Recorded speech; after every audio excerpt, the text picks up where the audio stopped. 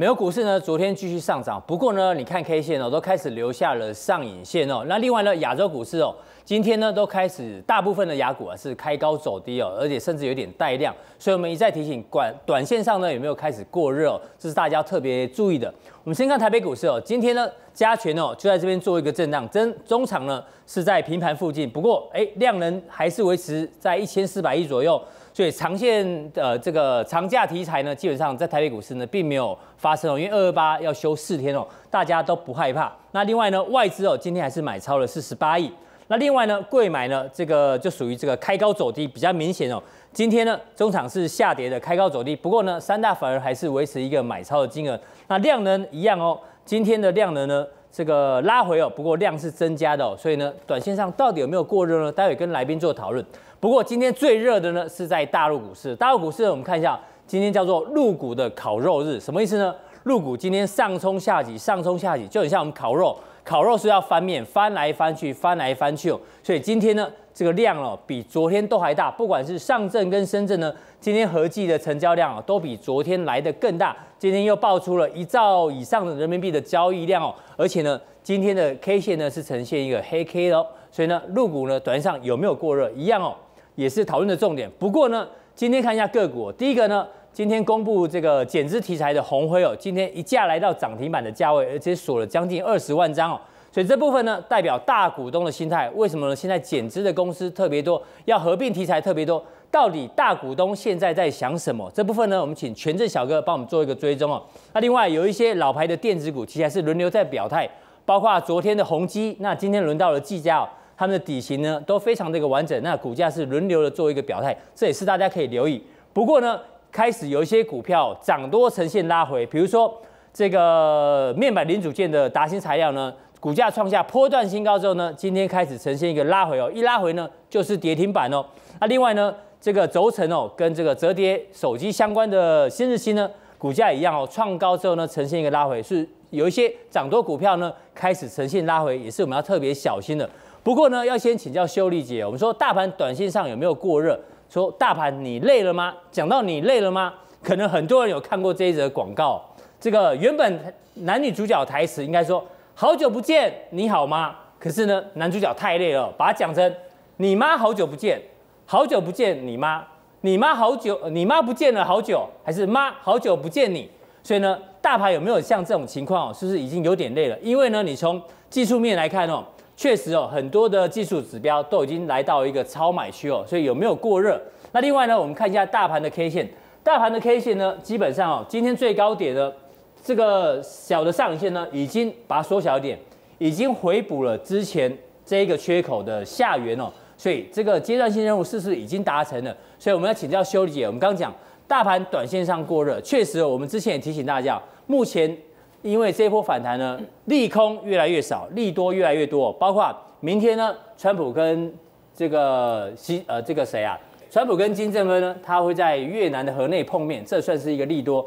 那贸易战呢，听说要往后延，不过呢，有一个事情跟大家报告，川普的这个贸易战呢，可能有点伏笔哦，因为川普对于他的首席这顾问呐，莱特海泽有一点不满。那到底哪里不满呢？有机会帮大家做一个追踪哦，还包括。三月份呢，川习会以及 MACI 对入股的利多，所以我们觉得这利多太多了，那短线上有点过热，所以呢，这是一个疑虑。而且再从长线来看，刚说巴菲特失眠了，我们称叫蓝色巴菲特，因为巴菲特呢可能也得了忧郁症，因为他的长线投资呢开始出现损失哦。比如说他最爱的卡夫亨氏哦，最近股价呢好像有一天呢大跌了二十八趴哦，大家想想看。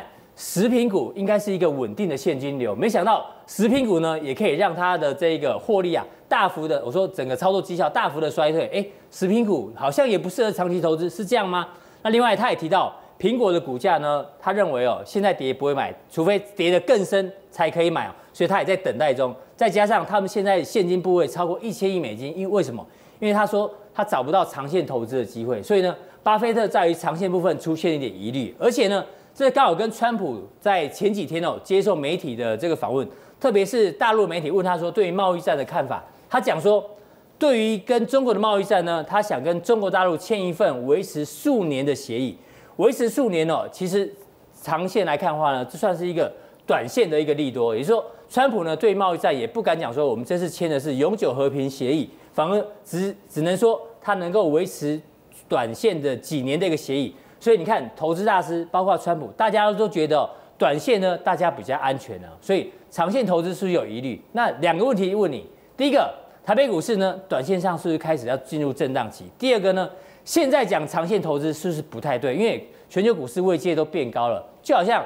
现在如果是夏天，你跟我讲说你要去买羽绒衣，我觉得你你好像脑筋有问题哦。你应该跟我讲说你要去买泳衣才对。所以你怎么看？蓝色忧郁的长线巴菲特里面，他提醒大家，这个之所以忧郁哦，核心的关键问题就是价格的问题。是，所以其实摆脱了所谓的价格，其实市场线还是短线，我觉得这个部分里面就有很大的一个需要大家去做解读的地方。那再提到这个川普提的一个重点，就是说维持数年的协议，不再只是说，哎，我们谈好了协议哦，大家都有共识了。他竟然还给你设定一个年限。对。而且这个年限也可以随时，我美国说了算就算，我说不算就不算，可以睡一觉起来就改了。对，其实也是要告诉大家，如果你着重在的是一个短期的利益，你其实要随时打带跑，随时要调整策略的，是这样才能够应对到市场的千变万化。这也是刚刚您提到的一个重点，就是说，即便是老牌的电子股，它其实也是在一直轮动的状态。对，那我们再看到这一张，其实大概刚刚提到提醒大家，短线的确过热了。嗯，可是这个过热的部分。里面 K D 指标很有趣的一个点就是，当它已经在一月份的时候就已经进入到八十之上的高档区了。对。那这个我们已经界定为它不是叫做超买，它叫做钝化。钝化。钝化的概念会让你不会错过这一段大涨啊！我想进过赌场的人，玩过二十一点的，玩过百家乐的都知道，最喜欢那种连成一线。是。好，那这种连成一线在高档钝化的一种特质哦，这个是有异曲同工之妙。所以你。觉得指数短线上还有机会往上吗？啊，这个是在指标钝化还没有结束之前，还有机会维持一个金金涨的格局。好，那当然。只要随时指标钝化结束了，可能这一个所谓的进入超买区、过热区转折的讯号就会因此而出现，所以特别提醒大家要注意。那当然就回到呃长还是短个股应该如何来评鉴？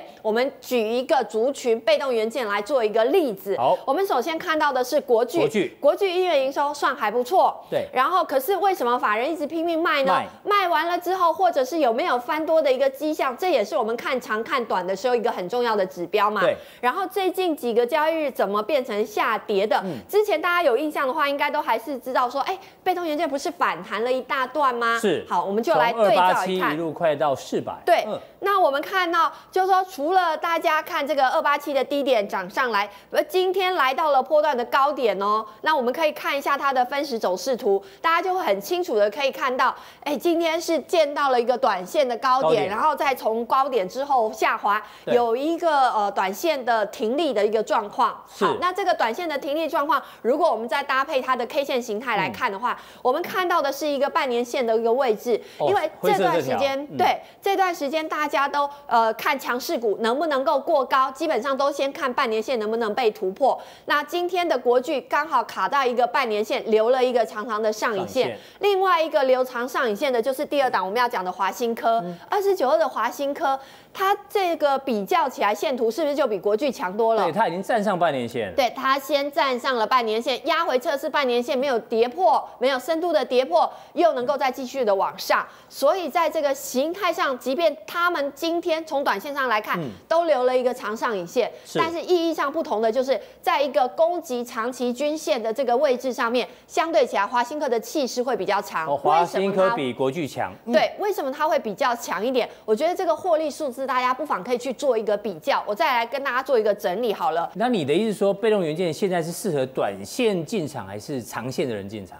呃。在这个位置点上，它透露出来价格是一个关键。如果我们有机会在一百五十块钱左右的一个华新科，而且在半年线之上，暂时不做追价买进，好，半年线就变成一个很重要的指标。对，因为它在压回或者是拉回半年线附近，再来做一个观察。所以关键重要的关键其实是在看三月的营收，因为三月没有什么假期了。对，那三月的营收应该要比较能够接近，或者是能够比一月份的营收数字要好一点，能够交出这个好成绩的话，我想这个时间点上拉回在半年线附近的一个位置，法人的筹码又没有涣散，也没有大量的继续的调节，我想这是一个重要的指标。好，那再来提到一个，今天大家会比或许可以去做一个比较，因为我们刚刚看了，呃，蓝色是忧郁，长线都忧郁吗？或者是短线是不是在这边除了灵活之外，还有没有一些题材上面可以作为一个参考？比如说最近的这个两会概念股里面，大家仔细的想一想，从年初的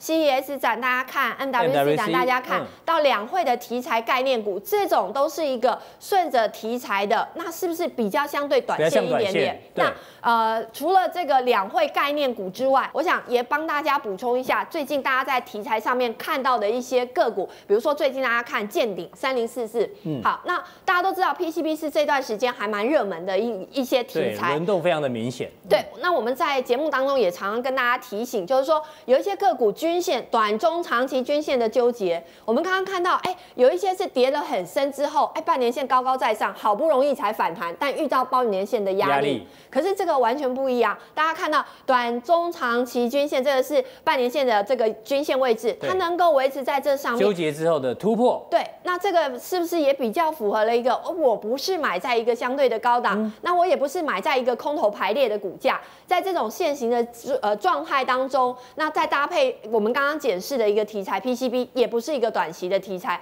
所以是大家可以持续来关注的。今天还有一档个股也值得大家来留意，就是二六三三的高铁。